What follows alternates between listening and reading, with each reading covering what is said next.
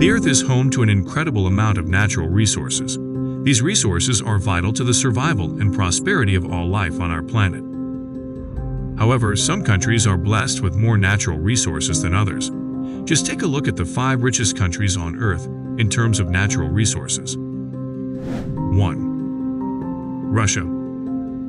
Russia is not only the largest country in the world, but it is also blessed with an abundance of natural resources. The country has an estimated $75 trillion worth of natural resources, including oil, gas, coal, timber, and minerals.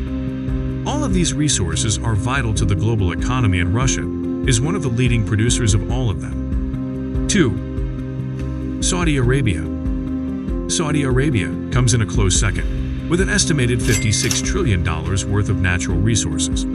Saudi Arabia is another major producer of oil and gas. It also has large reserves of minerals, including gold, copper, and iron. These resources have helped to make Saudi Arabia one of the richest countries in the world. 3.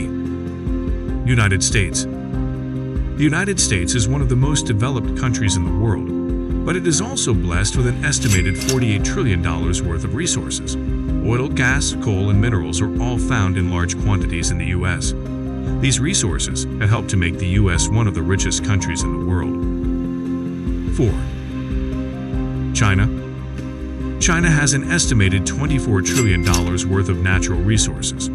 It is home to massive forests and deposits of coal, oil, natural gas, and minerals. China also has a large fishing industry, with over 2 million square kilometers of freshwater lakes and rivers. 5. Brazil Brazil is a large country with a population of over 200 million people. Brazil has an estimated $30 trillion worth of natural resources. It is home to the Amazon rainforest, which is the world's largest tropical forest.